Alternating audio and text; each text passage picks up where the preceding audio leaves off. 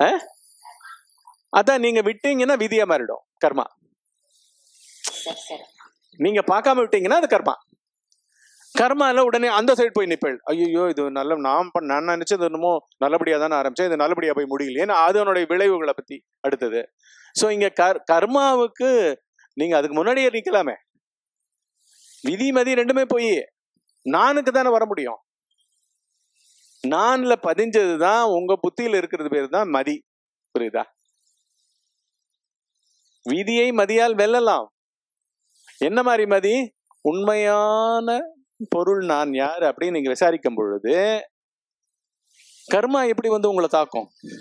நானே இருக்காதே. யா இப்ப வந்து யாருடைய இந்த எண்ண வெளிப்பாடு அப்படின்னு கேட்டீங்களா? என்னுடையன்னு சொல்லுவீங்க. என்னுடையன்றது நானுடைய விஷயம் தானே? அப்படின்னா நானோட விஷயம் தானே? நான் யாருப்பா? ஃபர்ஸ்ட் நீ யாருப்பா? அப்படின்னு அவனை போய் பார்க்க ஆரம்பிச்சீங்கன்னா ஒரே செகண்ட்ல சைலன்ஸ் இல்ல. சோ மதியம் போயிடுறது விதியும் போயிடுறது இல்ல. இல்லாட்டி விதியை ஓயாம நீங்க மதியால விதைச்சுட்டே இருப்பீங்க. ஹார்வெஸ்ட் பண்ணணும் பின்னாடி. புரியுறதா?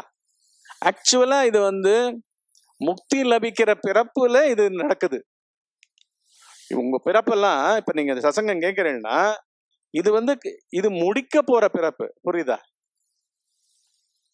அது இல்லாம இந்த கேள்வியும் வராது இங்கேருந்து சத்சங்கமும் வராது தத்துவங்களை பத்தி இப்படி டீட்டெயிலும் கிடைக்காது. எங்கேயோ இல்லையே விட இல்லையா? நெருக்கமா இருக்கா இல்லையா? உதிக்கிற இடத்துலயே.